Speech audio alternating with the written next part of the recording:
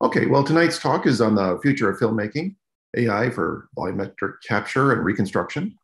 The speaker is Dr. Ilke Demir, Senior Staff Research Scientist at Intel. So a little bit of background about our organization, San Francisco Bay Area ACM. Uh, we were founded in 1957. Our objectives are to promote knowledge of modern computing. We want to create community, support networking and hiring. There's only a $20 annual membership to support our group. We have upcoming talks, um, about uh, seven in an uh, upcoming slide on our meetup site, and about 180 or more past talks on our YouTube channel. We generally have one or two monthly meetings. The general computing talk would be maybe on the third Wednesday of the month, and the data science SIG or special interest group would typically be on the fourth Monday of the month. Uh, we also like to support networking, job hiring announcements. Since we're not in person and we're going through COVID, go ahead and post your um, any job hiring announcements um, on the chat so other people can read. If you want to have any kind of networking conversations in the chat about hiring, you can certainly do it there. Uh, tonight, we're also working with uh, the Silicon Valley SIGGRAPH. Uh, later on, they'll speak some about themselves. So here's some of our upcoming events. So uh, tomorrow, December 7th, um, 8 to 10 in the morning, there's a security audit framework for security management in the enterprise. Then Wednesday, there's a day-long event uh, with, um, it's a Google Dev Fest. It's a AI ML um, edition. So they have a series of speakers there. They also have some hands-on training and some one-on-one chance to uh, chat with people. Uh, then going into January, uh, the future of conversational AI, Dr. Junling Hu has been a, a frequent speaker at our various events over the decades. For the Silicon Valley SIGGRAPH, would you like to speak to this event on the Thursday, Jan 20th? I'm Elise Agger, and on behalf of uh, Silicon Valley SIGGRAPH, we are also hold, hosting an event, a similar related event on January 20 entitled Implicit Neural Representation Networks by the Stanford University Computational Imaging Lab. It's going to be held in January 20, and you will find all these details in our meetup page. We also just recently hosted a related event on computer animation and motion captures, which we have posted in our YouTube channel and here in our chat. I am sending you right now for the link. Thanks, Greg. And thank you also for this opportunity of working with your chapter. Oh, thank you very much. Yeah, we're always happy to do that. Um, and then uh, Saturday, Sunday, uh, later that week, that'll be a busy week in January. Um, on 22nd, 23rd in the morning, 10 to 1, there's hands on quantum computing primer. So you can even get access to some quantum computing in the cloud. Uh, that's not something I've ever done before. That sounds fun. Uh, Bhairav has been uh, a common speaker in the past for the ACM on, on uh, uh, Bitcoin or a variety of other subjects, but he always likes to stay in the cutting edge.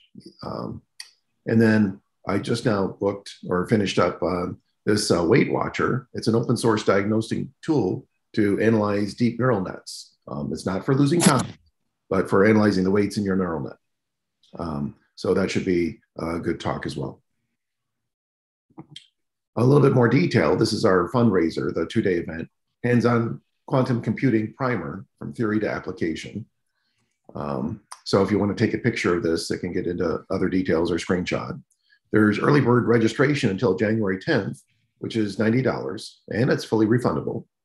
Uh, there's a regular registration is 105, um, but there's a discount code of $20 off uh, with the SFA membership if you use the code member20.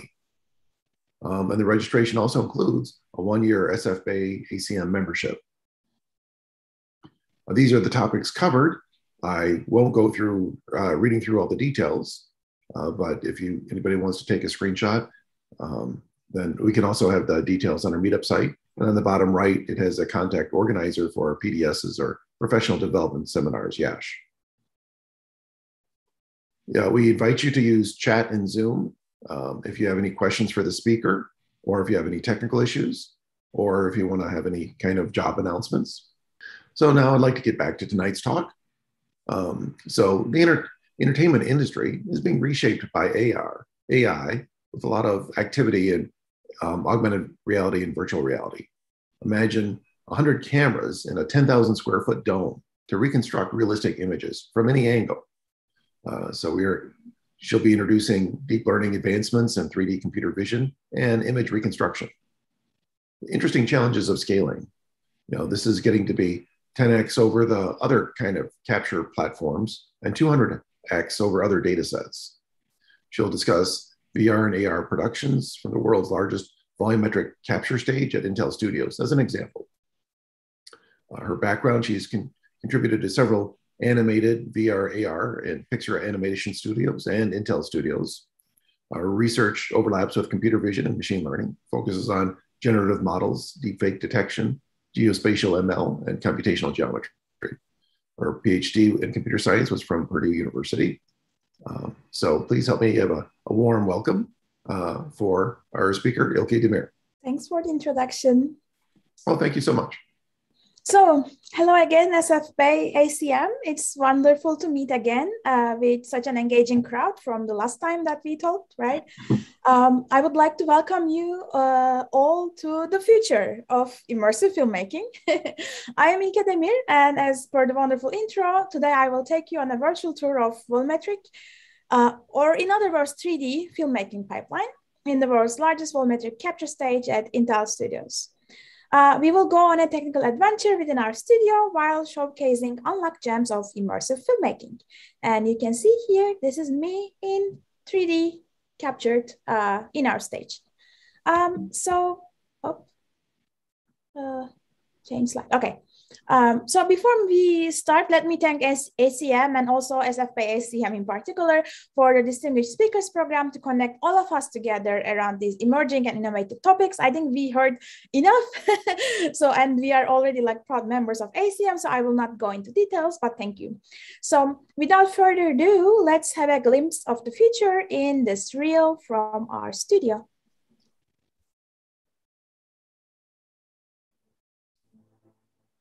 This is Intel Studios. This one-of-a-kind studio means you can experience a look at human performance that you won't see anywhere else in the world.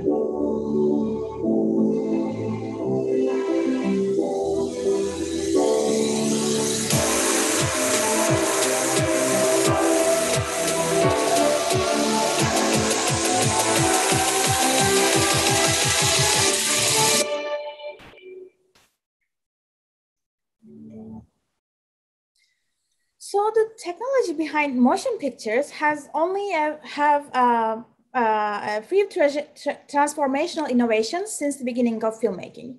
First came the sound, then there was colors, then um, everything went digital. And it all started with a simple experiment of the horse in motion. Probably people would know here by the pioneering photographer Eadweard Muybridge. And these 24 photos were taken by a lineup of 12 individual cameras and playback by another of his inventions, the Praxiscope, in order to create the world's first motion pictures. Fast forwarding to today, similar to adding the audio dimension to silent movies, similar to adding color dimensions in black and white frames, now we are adding the latest dimension to filmmaking, which is 3D. Our studio is a real-life production set for volumetric capture of 10,000 square feet, capturing up to 30 people simultaneously. With 108K resolution cameras, the data capture provides 270 gigabyte per second of raw RGB input, traveling through five miles of fiber optic cameras in this studio that you see. So Here we are in this futuristic stage, surrounded by 100 cameras, many microphones, and 154 light panels. And before we introduce the technical components of immersive volumetric filmmaking, we will briefly introduce how volumetric capture is different from traditional filmmaking. So in the traditional pipeline, um, the brief setup consists of staging, um, where the actors, environment, objects, everything is designed and integrated for the shot. Then many shots from many angles uh, with many repetitions are recorded, you know, like um, shot one, two, like scene three, four, whatever. Uh, with the on-stage on-stage feedback of the directors and other set personnel, variations of these shots are filmed. When there is a census on the quality of the shots, everything is pushed to post-production and there's all the VFX and After Effects and post-processing operations. Now, Analogy of the traditional pipeline in the volumetric space would be the 3D reconstruction pipeline, which is very similar in building blocks. So first objects and actors are staged. As you see, the statue is put on the table or the person is in the dome or similar setup. Um, then images uh, or videos are captured. Then a 3D model is reconstructed from multi-view imagery. Then this 3D model is processed further for relighting, coloring, sometimes followed by morphing or animation. An advantage of volumetric capture over traditional filmmaking is that directing can be done in post-production with virtual cameras because you are no longer dependent on the view direction, on the camera direction. You reconstructed uh, the object or the scene and you can look from wherever you want. You can do flying cameras, you can do, uh, you can like put your virtual camera or you can direct the camera path from wherever you want. Um, moreover, digital assets can be placed in the 3D space in post-production instead of 2D, which frees the production from dependency on physical limits. Now, imagine that same 3D construction setup with, with 100 cameras in a 10,000 square foot stage. Scaling existing systems 10x up we can capture 30 people simultaneously within complex scenes while also preserving the advantages of volumetric pipeline mentioned beforehand. And the result, like even the dust particles here on the uh, foot of the horse flying around is captured in real time. In 3D, by the way. Of course, real time is fine, but in 3D in real time is not that much. Um, so yeah, by the way, when, uh, when, we, uh, when we say Oh, sorry, it didn't play. Yeah, so when we say 10x, we really mean 10x. You can fit a real beach volleyball court in our studio or a half basketball court. The choice is yours. So what is missing from the previous pipeline? Of course, with so much data comes great AI applications. One of the advantages of having a production studio is to be able to harness our intermediate outputs to empower our AI algorithms. For example, uh, we can go back from 3D back to uh, rendering our assets in our virtual set to augment our uh, existing data sets, or we can transfer expressions or poses from 2D to our 3D models, or even combine the manual effects with the rest to create um, voxelized K-pops like this. so uh, Intel Studios, established in 2017, uh, started capturing volumetric videos with only 36 cameras with 5K resolution.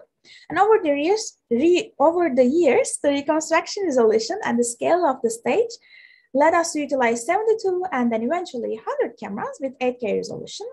And as a system with 270 gigabyte per second input, storage capacity becomes a bottleneck, of course, uh, without any specialized process. So um, not only the hardware, but our representations also change during our timeline. The color representation, the duration of shots, and the resolution of our point clouds all increase thanks to our innovations in compression, frame interpolation, and lossless data shrinking. Our compression method provides 5x to 10x smaller models, and our data shrinking provides 90% compression. As the amount of synchronized hardware increases, the system needs more feedback loops to preserve the integrity. For such, we also developed custom methods to enhance our camera calibration, color calibration, lighting calibration, and camera synchronization. You can see some of those samples here. Finally, we also engineered some solutions for today's remote camera, uh, remote conditions. We enabled digital stages and virtual productions to command the um, capture system, which is an essential step for the next generation volumetric stages. Now, having introduced the studio, we will first go through the interesting challenges of volumetric filmmaking in the production setting. Going beyond the lab-sized captures, going beyond uh, single objects or actors, uh, we scale up to the real world. The video on the top shows our stage prepared to capture an aerialist performance with its reconstructed, reconstructed counterpart here below. The scale doesn't only affect the physical stage preparation, but also the coordination of 100 cameras and lights plays a crucial role for the later stages of the production. Color, lighting, intrinsic, extrinsic, and time calibration of cameras requires special shots before and after the actual filming.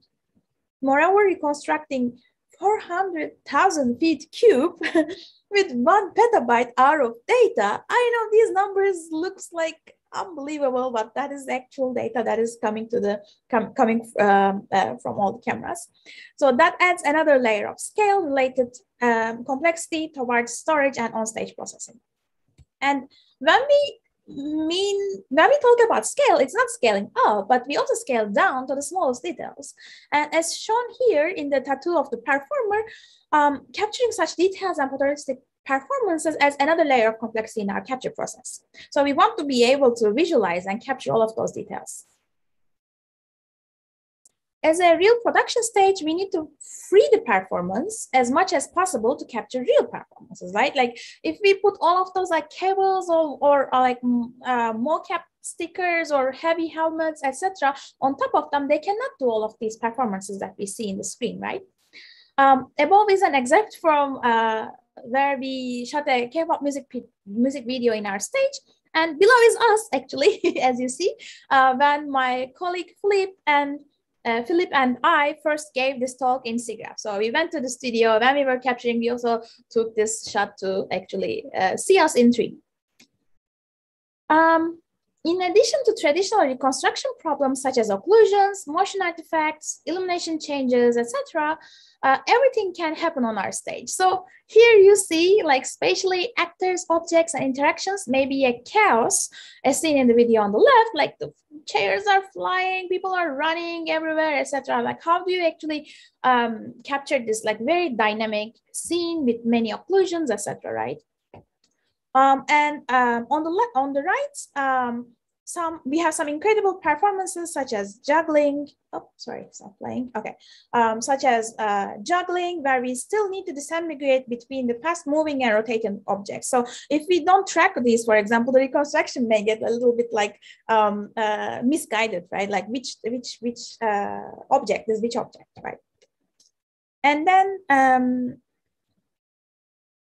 Finally, like capturing 270 gigabyte per second needs a server farm as powerful and scalable as the amount of data we have. And here's a glimpse of our server room. Um, to satisfy the amount of scaling up and down, we reconstruct in one millimeter voxels with some automated tools for tracking and rotoscoping. Now that we are all on the same page about the everyday challenges of a huge volumetric studio, we will introduce our immersive filming pipeline to answer those requirements. Our main steps include pre-production, similar to staging in the traditional pipeline, uh, followed by action, then processing the capture in 2D and 3D, finally adding final touches in post-production. So one, one, question from the audience uh, uh, was, is this method used in the world currently or in the wild? It Was the, the phrasing. Um, so most of the um, numbers and metric things that I'm saying is uh, special to the studio but the actual volumetric reconstruction has been used in other stages and um, some other companies have very smaller versions of this setup for one person or two person so i would say the like this volumetric setup um, with some variations of course like some of them doesn't uh, capture rgb but they have like illumination changes so they can capture more fine de details or um, the scale may be very small so uh, the reconstruction pipeline may be a little bit more adaptive or specialized uh, but overall, the 3D reconstruction pipeline that I'm mentioning is uh, used in many places. Uh, another question, this one from Sherry. Um, at the time of photographing the high wire performer, did you notice whether he was using a safety net? If so, was Intel able to capture the fine details of the safety net mesh? Um, and then there was another comment, I didn't see a safety net in the rendered version. Yeah, um, actually we can modify everything in the in the post-production. So even if we capture the safety net, like this is the this is the setup, right? Um, there is like all these um, soft landing spots if he needs to like this is like completely like um, one camera no processing no capture. This is the exact setup in the physical world. And this is um, in the uh, digital world like the reconstructed version. And see we can actually capture this like very um, uh, thin uh, rope that he's walking on and all the details in the below we can just like remove them in post processing we don't need to show these like ugly looking pillowish thing right? Um, there was no safety net. Like this is what you see is what you get from the um, top one. And as you see like she actually she goes she will go down. Um, this is very soft so does that answer the question? I, I don't see the chat. I'm really sorry. I don't I don't know why I don't see the chat. I will try to see the chat. Uh, chat. Okay, now I will be seeing the chat here in, in, in, in here. Okay, sorry about that. Yes, thanks. Okay, I got the thanks. I will continue. um, so where were we? Um, Okay, so uh, we will introduce our pipeline a bit more detailed as demonstrated in the system overview. So first, all the scenes are prepared up to the smallest detail, uh, like the um, like the props and the actors. Um, then we shoot the scene and take the calibration graphs. Then we correct all the image distortions and reconstruct the scene.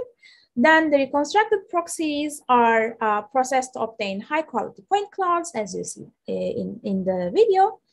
Um, then finally, all visual effects um, are added in post-production and the assets are distributed with integration to game engines. As you see the Unity clip uh, on the rightmost.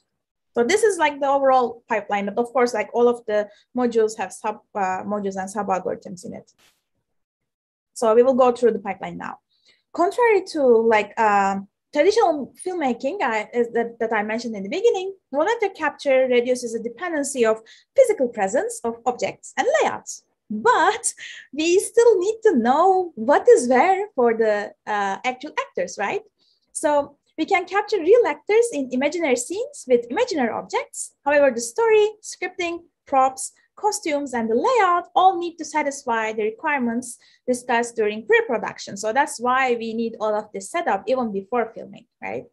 So for example, this uh, pink wheelbarrow uh, that uh, I think Philip is holding or someone is holding um, is a prop and it is replaced with a real looking uh, uh, real looking digital one in the upper right shot so so the one that is below in pink is actually the prop um, another example is a staircase scene in the bottom. So we can capture the chase during multiple flights. So it is like, I don't know, three or four flights that the actors are like going, but we still need like this like um, little stairs for them to like quickly go, then come back. So that it's like uh, three stairs uh, of uh, multiple stairs, multiple flights of stairs.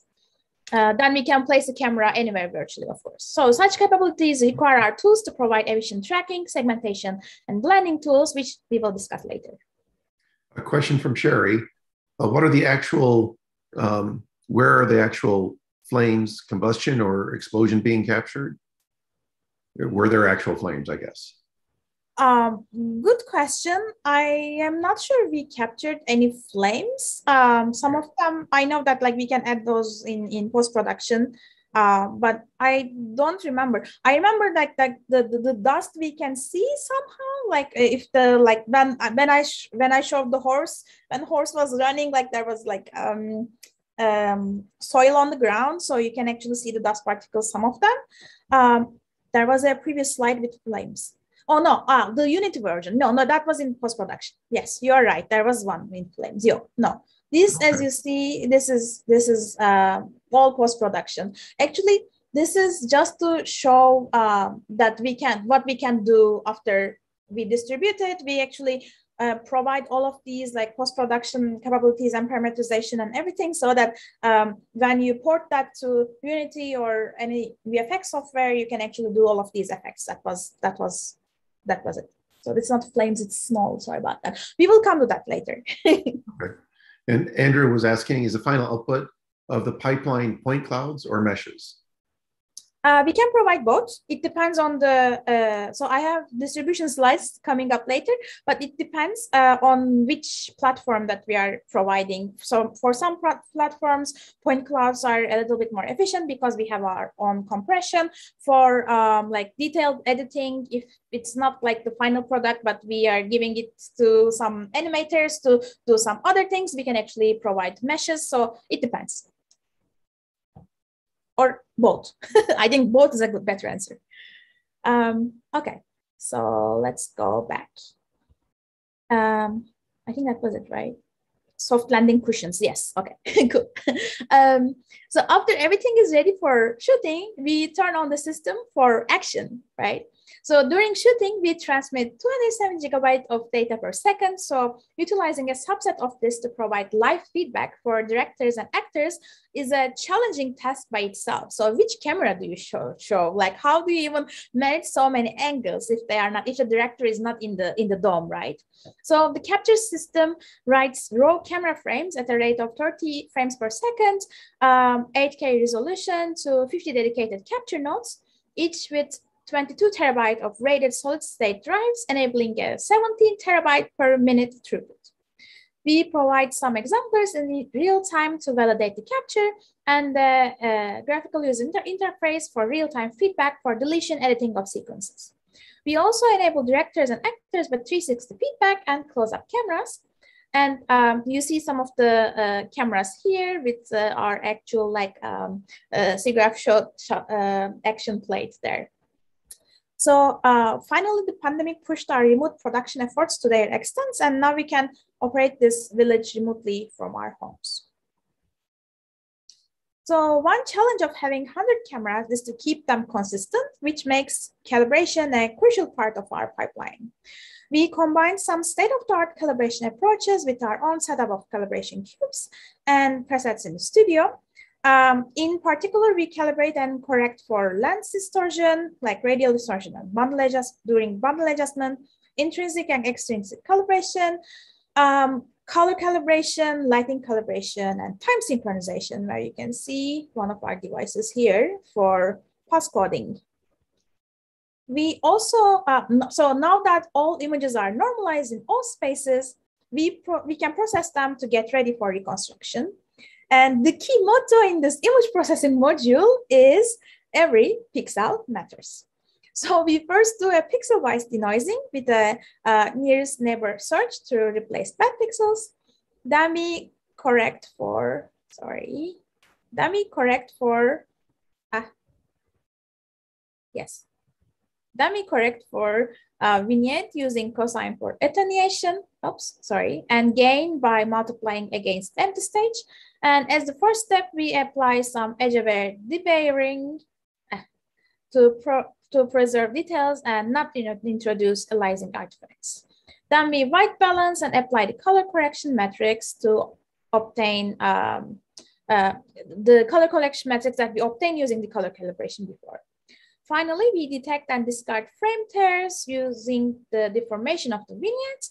And Did you find some of the terms? Somebody was asking about the debayering, um, but may, and also maybe frame tears or some of the other term definitions could be helpful.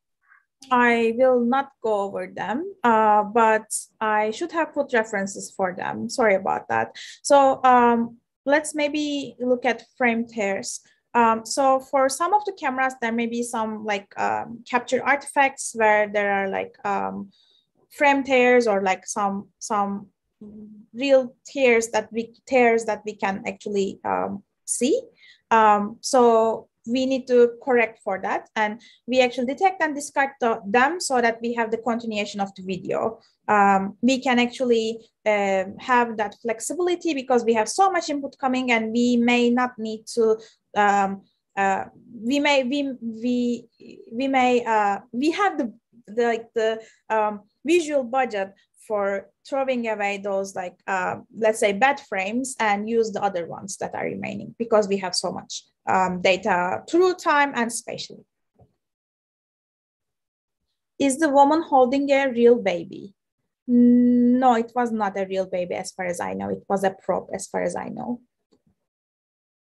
Uh, okay, I think I think we are, no, I will not define debayering. It's like basically this this kind of this operation for the camera metrics. Um, where was I? Okay, so as our stage doesn't depend on active illumination, we can do a passive RGB reconstruction from the calibrated multi-view imagery. Um, typical, yep, that is true. Thanks, Carl. Um, typical reconstruction pipelines include multi-view stereo, structure from motion, or fusing monocular depths. In contrast uh, to all of these like 3D reconstruction ways, uh, we reanimate the traditional approach of space carving um, with a touch of touch for performance. So having very high resolution images that span our capture volume enables us to hold per voxel operations in a fast and accurate way. Um, and this is coherent with the memory utilization. Combining this capability with hierarchical subdivision of the known volume creates high resolution point clouds in the adaptive resolution we require. And afterwards, we can compute per point normals and colors using traditional geometry queries and point to point normal to camera associations.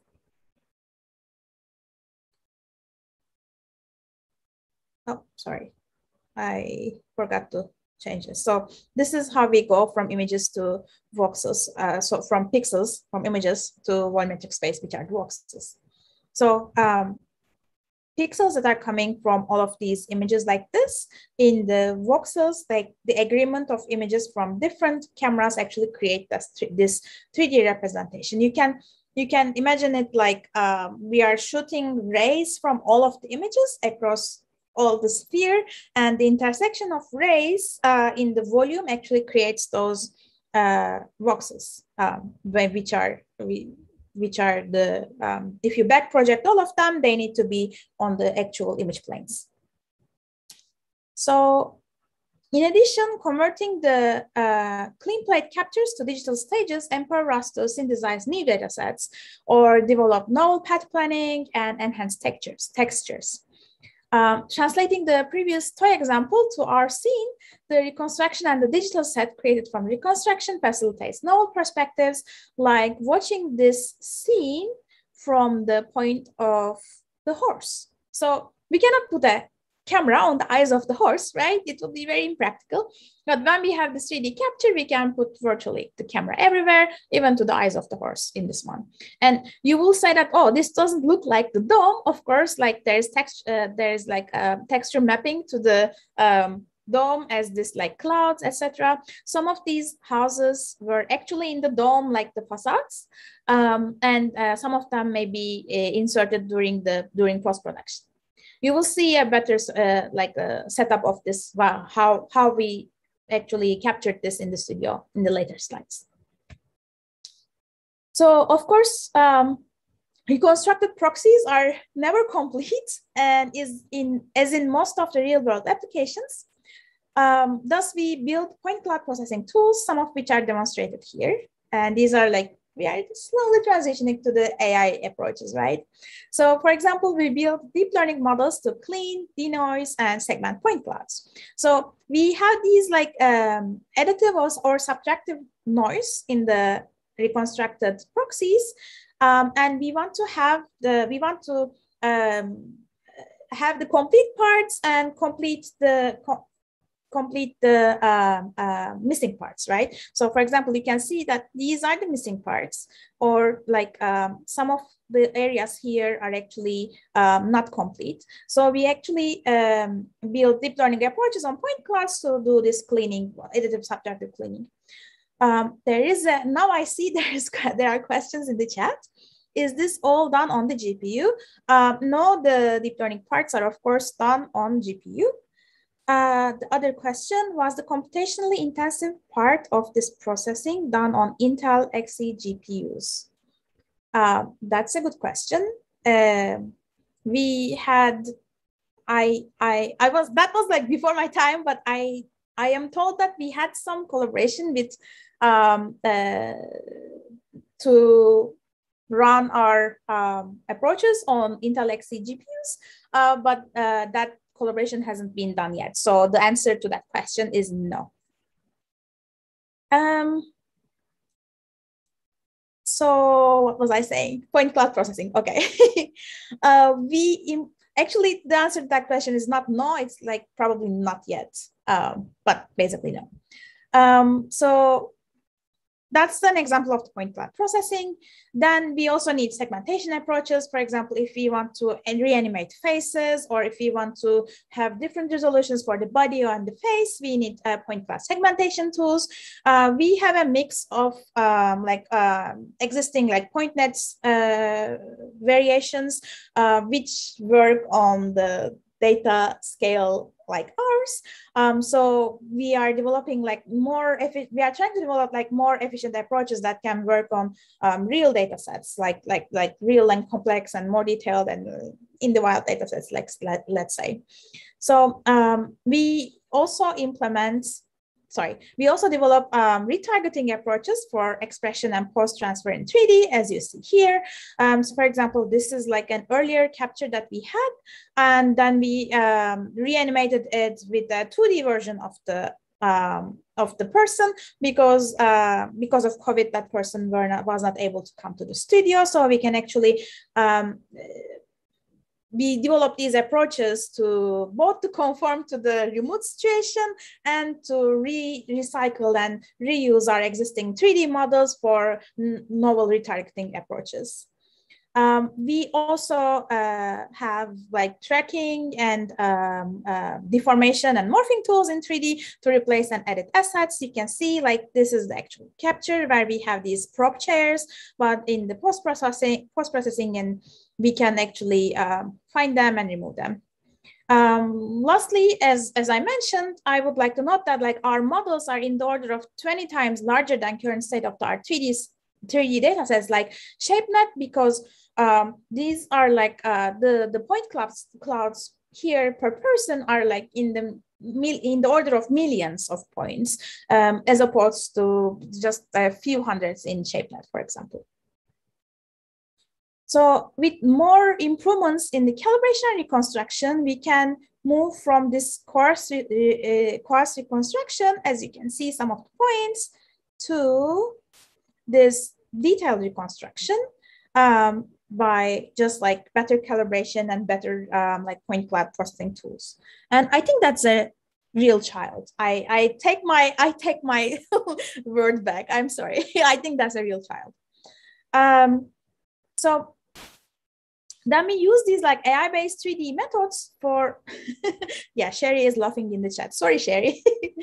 um, then we use these AI-based 3D methods for various applications, such as changing the clothing of actors, or for example, if you want to like do some, I don't know, advertising in, in virtual uh, space, you can change all of those regular shoes to your favorite brand of shoes or something. So this scene, for example, needs accurate tracking, pose extraction and segmentation and all of those combination, we can actually do any texture mechanism that we want here. So parallel to the automatic point cloud processing tools, post-production also includes various pipelines to enable artists' creative power, bridging the gap between physical and digital worlds. So these tools include color blending to have um, consistent colors without losing high frequency details, as you see here, frame interpolation to interpolate uh, uh, frames both spatially and temporally, So for example, here you can see that we have super slow motion where we, as, as I said, we cap capture 30 FPS, but this is much slower than that. So we can actually do that uh, super slow motion frame interpolation.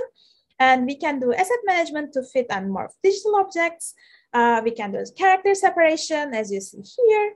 Um, we can do in the other visual effects, such as like these, like uh, Minecraft looking uh, version of, the, of them. Uh, what famous teen musical group is this? I will come to that later the end of the end of the uh, presentation. I will come to that. That's actually uh, that that that's actually a product that is in Korea. Um, for example, another post-production example is that for uh, creating visually stunning shots like these, um, we need some simple compositing tools such as synchronize the frames, several synchronize several frames like this, right? Or combining our, oh, this is not playing, let's play it, okay. Or combining our motion tracking tools with coherent visual effects. So um, we captured this for one of our productions, Soul and Science, I guess. And um, by motion tracking, we can create these very cool artifacts on real capture, real captured person. Um, now we have the perfect cake, right? With the cherry on the top. So how do we package and send our cakes, right? We have several outlets and partnership partnerships that have different requirements. For example, mobile, mobile and AR/VR platforms have specific size requirements, whereas movie producers have artistic concerns. So we need to have that balance in between, right? Um, is this playing? Okay, oh, this is not playing. Hmm. Maybe not. Okay, sorry about that.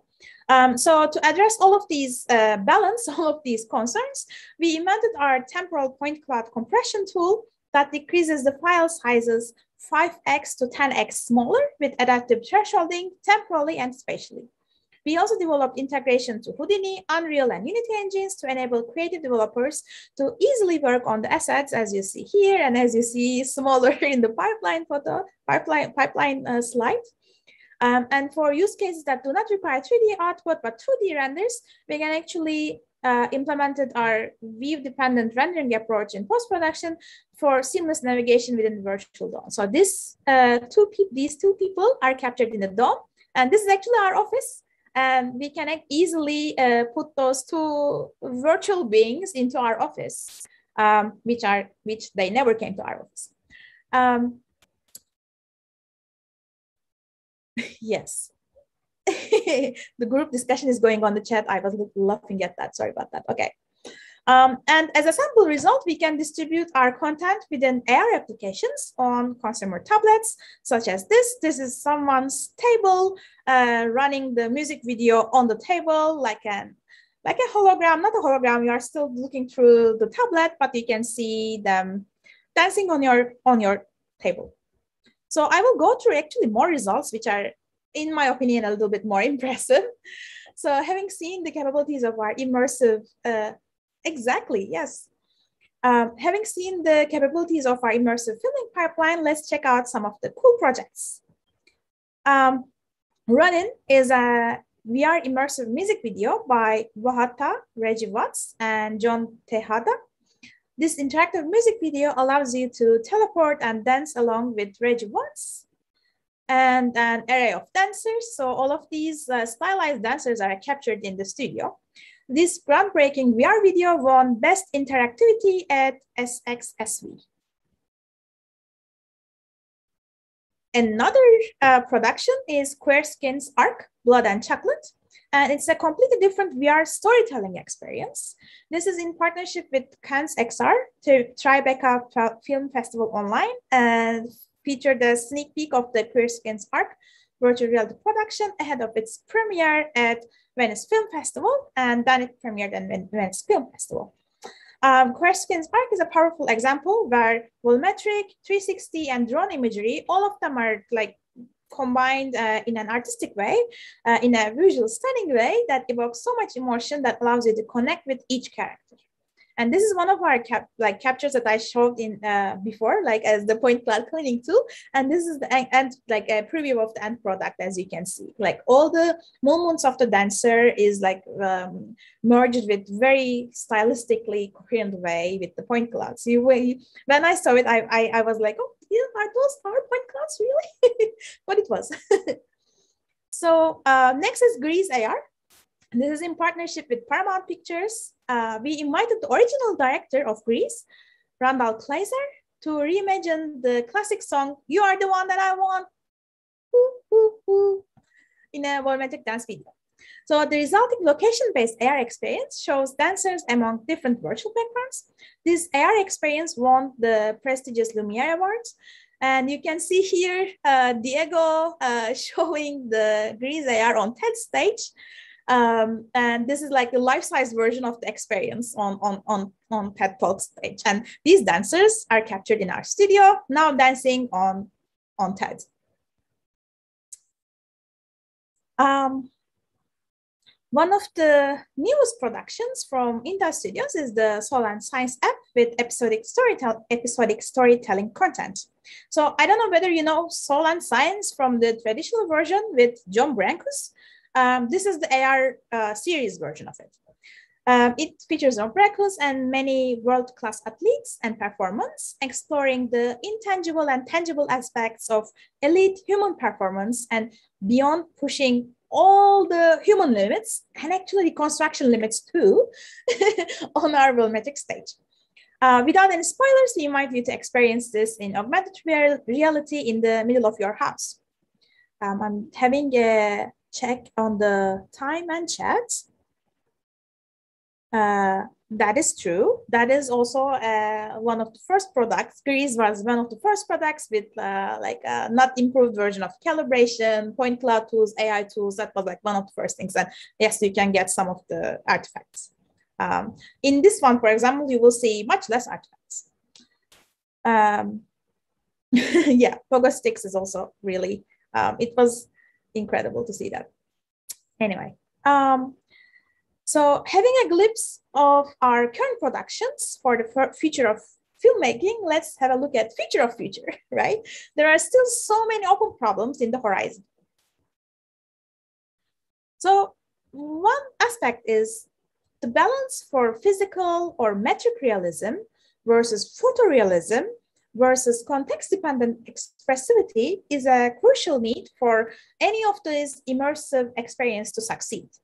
For example, in a 3D drama, we may want to observe and reenact like the deepest micro expressions of the actors, whereas in an urban simulation like this, we may need the exact sun exposure visualized instead of the real reconstructed version of the buildings.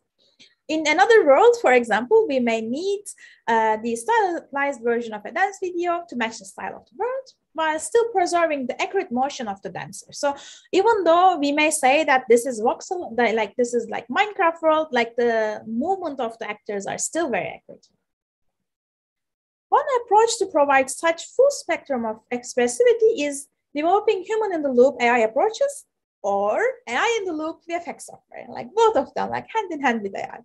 Such collaboration and automation tools with learnable components enable creating more impressive, more immersive, more customizable, and flawless experiences. Traditional VFX tools taking hours to process long footage may work in real time with such automation and such AI approaches, whereas the learned spaces and distributions of AI tools can be expanded by guided training and synthetic data augmentation. There is a question. What tool was used to generate the pogo stick AR scene? Um, that's actually real actors uh, jumping in the studio. Like there is no um, there is no uh, trick here. This is a real pogo athlete, pogo performer, whatever. Um, we captured his all of his high jumps in the studio, and then we reconstructed and all the pipeline. So what tool? All the pipeline that you see. But for example, this wheel coming from here this wheel is actually a 3D prop. So it was not in the scene. We put the wheels later in the post-production. But John Brenkus here and the pogo stick uh, person is real. What kind of tool was used to generate the pogo stick AR scene? That, that was my answer to that. Oh, okay. So the the reconstruction is all like all the pipeline that I mentioned, like all, all the way from calibration to to the distribution, like even to distribute such content for, to um, to iPhones, etc. You need uh, all the way from like the actual like uh, capturing 270 gigabytes to um, compression tool at the very end that is compressing the point clouds to work on on iPhones. So all the pipeline is used for for the reconstruction. Um, what was I saying?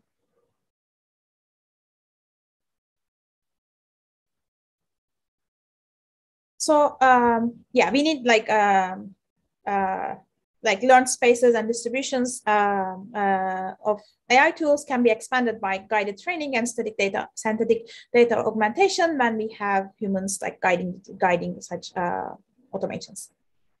So to elaborate further, now that we have seemingly infinite data, I know it's not infinite data, but when you deal with it, it feels infinite. um, we can recycle as existing 3D models by proceduralization to create generative models, for example, right? Like generative models in this in the traditional sense. Uh, we can reuse existing models, we, we can use existing parameterizations, and we, the modelers, animators, VFX can actually uh, work on these like more flexible and interpretable feature spaces. Uh, we can also further design and train deep learning models for 3D deepfakes, for clothing simulations and scene manipulations to bridge reality with captured and reconstructed content. We can convert these learned spaces to interpretable and controllable spaces for artists by conditional GANs, multi-source synthesis models, or semantic manipulation by reutilizing the animation byproducts.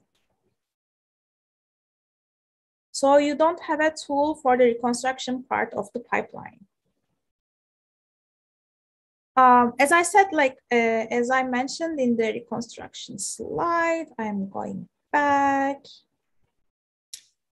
Um, so this is the, sorry, um, the other slides. Okay, so this is the setup, right? Like we, we can, we have multi-view imagery. Um, my understanding of a pipeline is that it's a set of stages, not really a software package.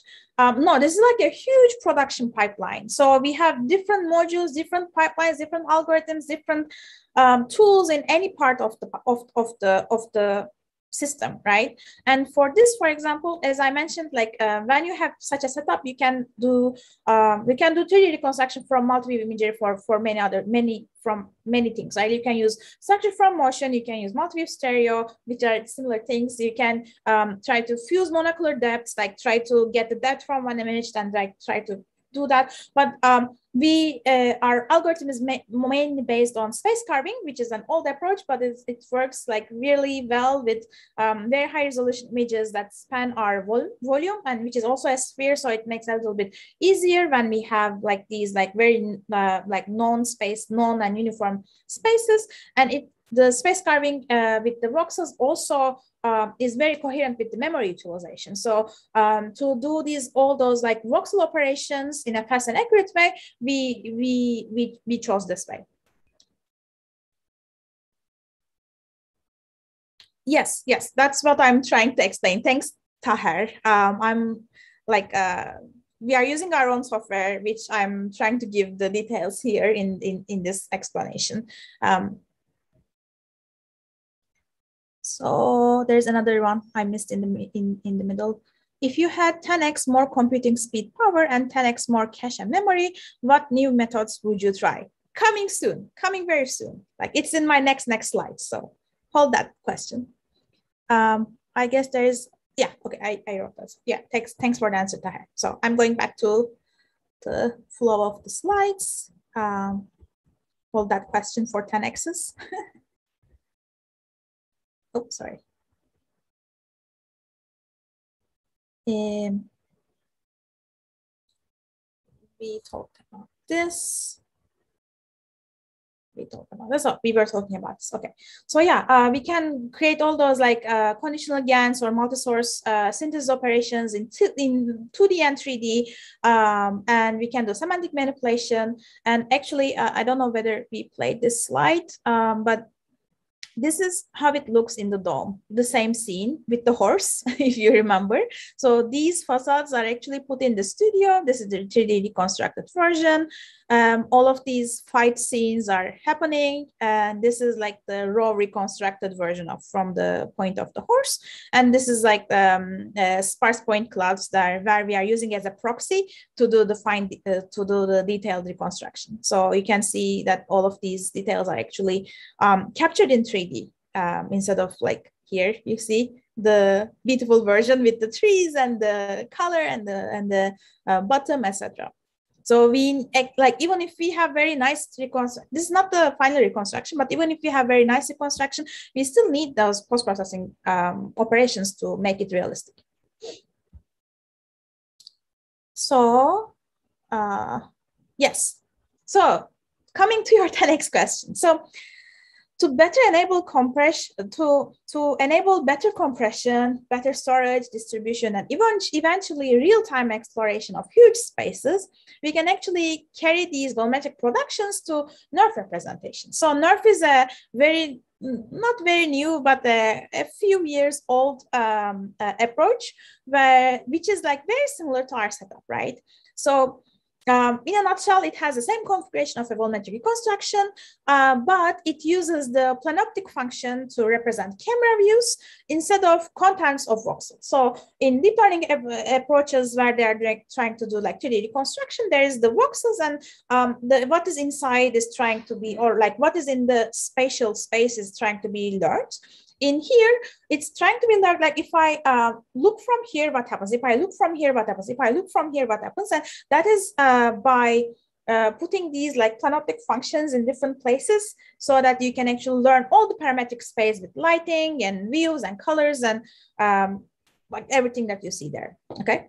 Um, so as this technology is emerging very fast, there are many open questions that all of us in 3D representations are working on. So um, how much detail can we represent? How adaptive can it be? Can, can we do, can we put any spatial NeRFs like um, uh, the, uh, I want to remember the name of the paper.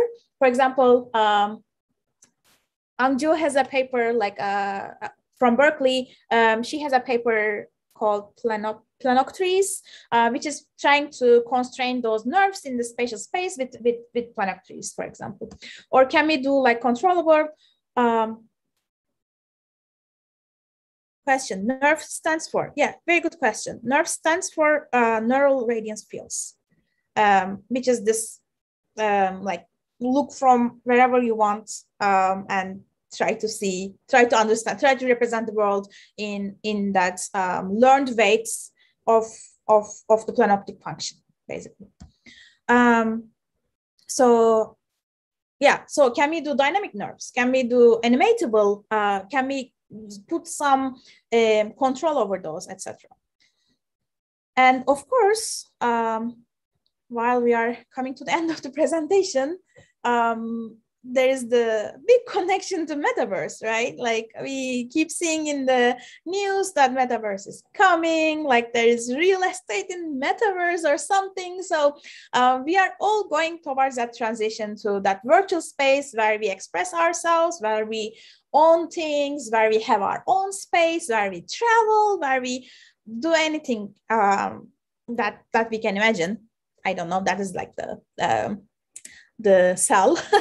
um, so with that metaverse transition, actually, if you um, want to represent yourself as yourself, like in the very greatest detail, you can actually like uh, a full circle, go back to the beginning and see my 3D reconstructed version of myself, right? And be myself in metaverse, right? So such realistic or detailed reconstruction is actually uh, maybe seen as a prerequisite for metaverse translation. Of course, you can represent yourself with avatars, you can be your favorite superhero, etc. But it is also a good way to see yourself uh, as you, as a digital human, right? So anyway, that's just like some notes. That's not like real things. So um, as we are coming to the end, as we already encountered, so as we already encountered virtual concert halls or VR events in the metaverse, I will finish the talk by showcasing our superhuman experience, which is the actual um, uh, music video that we have been seeing, right? Um, uh, this uh, superhuman experience is in collaboration with SM Entertainment, and this out of this, hi, I have a little visitor here. You may see or may not. Hi. So this um, out of this world music uh, video featuring NCT 127 was shot in volumetric and developed in Unity. This exciting music video deb debuted as an immersive location-based entertainment experience in SM Town Museum in Korea. So let's have a look.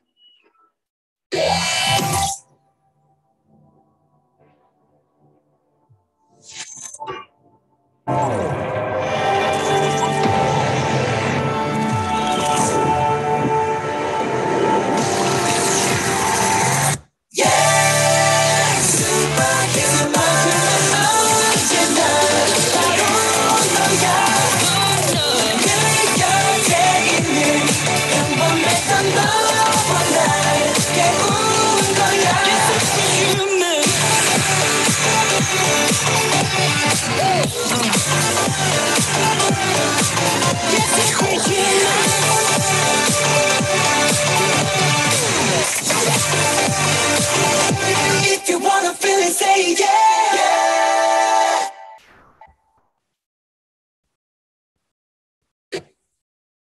With that, uh, I would like to thank everyone for watching the talk. And we know um, that you have many options in this uh, evening, uh, in this virtual setting. Um, so thank you. I hope your time is well spent today in this virtual tour of the studio. Um, there is a huge team to make everything I demonstrated happen. Uh, so I salute and applaud um, our team, or everyone listed here. So until next time, stay safe, stay 3D, and I can take all of the other questions. Any questions? Um, in the chat, let's see. Um, Just I posted a couple. Sometimes people ask if they can uh, see the slides after the fact, and since there were so many videos in yours, um, you never know if uh, one person has the best uh, bandwidth at home, but if they can go back and rewatch some of the videos from links, uh, that'd be great. That's true. Yes, I will. I will. I will try to post the videos. Actually, there is a YouTube version. It's not the most recent version, but if you look for um, uh, Intel Studios in YouTube, you can see some of those videos in like really great quality. Yeah, I think Keith po- posted one of the videos there, and there's an Intel software um, YouTube. Okay. Um, sorry about that. Uh, um, sorry. Uh, so looking at the chat, make a video based on your son and his friends. he's not my son. Um, he's the cutest thing ever. He's a son of my friends. Um, and I'm visiting them. So sorry about the interruption. Uh, other question, how is volumetric capture and reconstruction done today in other studios apart from Intel studios? I believe what you are presenting today is Intel only. So as I said, like um, if you look at like all the reconstruction papers and software out there, there are different versions. There are like um, from light, for example, right? Um, you can, instead of like having those multiple views, you can actually uh, have different light sources or different colors, etc., to capture the detail. Um, there are other, like there are, there are several ways to do 3D reconstruction. However, all of these different um, um, studios have much smaller aspects. It's like either one person or either like upper body or um, sometimes like face only with very close up videos, with very close up cameras. Um, sometimes like I think the next second bigger second biggest is like only like two maybe three people in like a room setup with uh, less cameras so uh, it and it in this scale it's really um, space carving variations and like um, the with memory, many memory optimizations and compressions is what we what we developed as Intel only, as I will say. Uh, can you share a link to slides? Yes, um, maybe to the video I can share. You can look at YouTube. Uh, there's an older version of that, and I can also share a link to the slides. Yes. Um, thank you, Elisa, for the thanks. Uh, any links to watch public videos. Okay, um, right after I stop sharing my screen, I, I, will, I will post the links. Um, are there any open source pieces of the construction pipeline available or is it all proper? Yeah, I would I would have loved to give you a positive answer. Believe me, like if you look at my career and all the data sets and approaches that I shared, like I'm always a fan of open sourcing, but this is not open source, unfortunately. For now, for now, fingers crossed. Um, what algorithm is used to convert from voxels to geometric surfaces? Um, that's also a good question. So um, there are different ways that we used for different approaches. Um, you can like since the point clouds are very very dense, you can even get away with like normal Poisson reconstructing because reconstruction because it's like it's already a surface. Um, when we go to point clouds, sorry, when we have the point clouds, you can already go to a surface because it's very dense point clouds. Uh, you can even try to like do uh, like a normal like uh, neighborhood triangulation because the point clouds are very well shaped because of all the point cloud processing, etc. Um, and in some of the um, um more like coarse cases, uh, you can actually try to uh, go to that boundary from the voxels where you have the boundary voxels versus the inside voxels. So it, it really, we really have like different branches for different use cases, as I said, like it, it depends on the distribution. Like if you are going AR platforms, VR platforms, or this, you are giving your assets directly to the, to the, um, to the um, animation studios. I, I wanted to put, put a plug in for next month's talk too on uh, dealing with uh, rendering surfaces or neural rendering. So uh, be sure to tune in for that. If you have yeah. a link to post, Carl, go ahead. That that's our next meeting here in, in January 20th. So uh, certainly. Um, another question is Intel Sports Group has done volumetric production for NFL and such. Is any of that tech reused here? Um, no, but we are aware of each other's um, productions and each other's pipelines. We might have shared some of like not shared, but like me, we might have influence from some of the parts, uh, but like as a, as the module itself that I know of, we don't. Um, is in Manhattan still active? That's a good question. Due to COVID, it's not active. Uh, appreciated thanks, Ilke. I used to work at Okay, sorry, these are the direct messages. I'm not saying them. I'm sorry about that.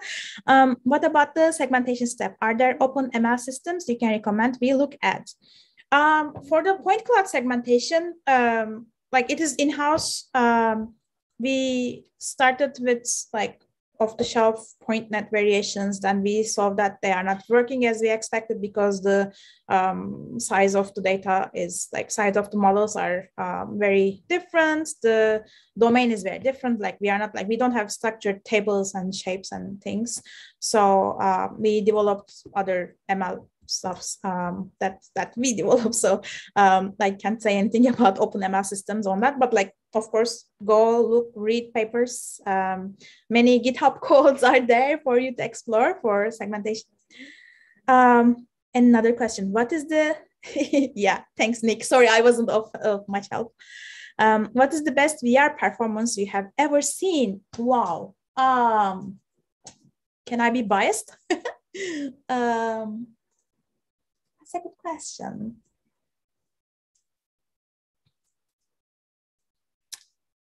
Um, I think, well, it's a very like a uh, premiere version. It's like not the full thing at all, but we were supposed to have a, a here VR uh, which also premiered in Venice Film Festival um, last year or the previous year, last year. I think it was last year. Um, so check it out. I don't know whether you can still watch it, uh, but it was really good. I, I'm, I'm trying to be not biased, but it was from our production too. Um, but yeah, maybe I will chat. I will write it in the chat. So if people don't understand my pronunciation, you can go and check um, I'm not sure whether you know here, um, here is actually a book and I am, I feel very guilty that I don't remember the author.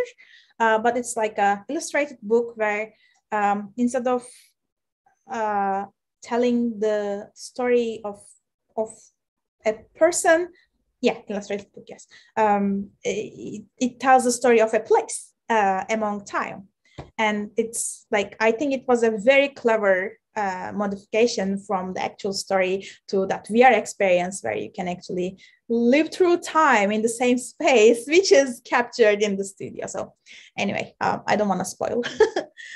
uh, I think that's the end of questions. Anyone wants to ask questions with your voice or chat, or you can always like uh, reach out to me from uh, my email and uh, since they're already here, I want to say all the credits here.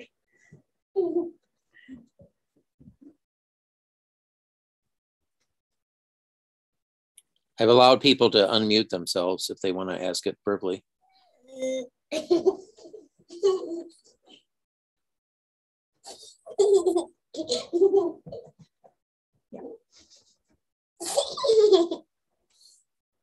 beautiful laugh, laughter around, all around. you want to say hi? Do you want to say hi? Come say hi. Come say hi. Come say hi to all the 50 plus people you are watching. I don't know how many people. Hi, this is Eren. This is uh, the son in the house. Anyway, not my son, son of my friends. Okay, can you now go to your father, please? Can you go to your father, please? Anyway, any other questions? Well, thank you again for coming back. We really appreciate your presentations. It's been very good. So I think we're unmuted. We can actually try an applause. We haven't done a Zoom applause in a while. Thanks, everyone. It was it was wonderful to be here again, and I really love how engaged all the all the crowd here is. Like uh, like the questions i see here are, are, are really good. And um i i'm really sorry if i don't um answer some of them uh, but yeah okay. Okay well thank you so much.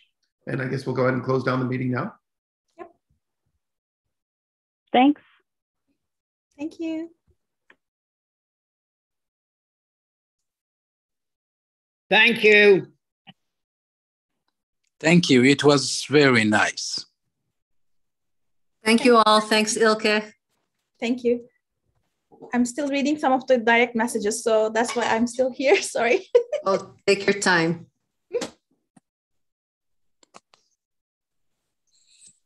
Also, thank you to SIGGRAPH. Oh, no, thank you, SFB